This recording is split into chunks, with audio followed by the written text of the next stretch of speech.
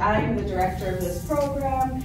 And I'm super excited because pageantry has done so much for me in my past life. And so I wanted to find a way to give back to my community here in Elko and empower young ladies and see the best way that we can be able to empower them in ways whereby they can become be better young women, contributing to society, grow personally and also academically in whichever ways. And so, and pageantry is fun.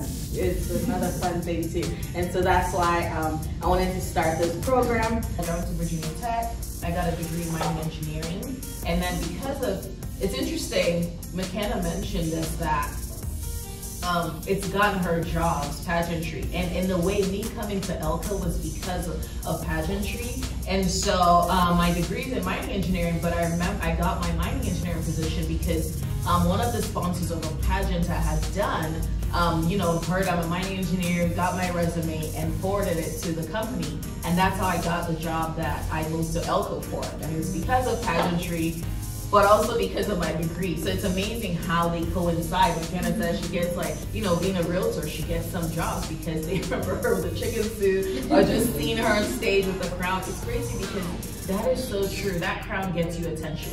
And what I always say is, what are you going to use with that, um, do with that attention that you get with that crown?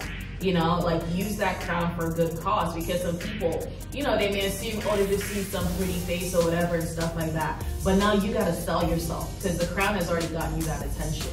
And so selling yourself is the key now when you open up your mouth. Like she said, she does a stellar job with interviews because this is one of the things that we had to learn. Going through hundreds of questions to practice interviews and stuff like that. Whether you're competing at a local level or state level or national level, you put the same effort just as is for any of those.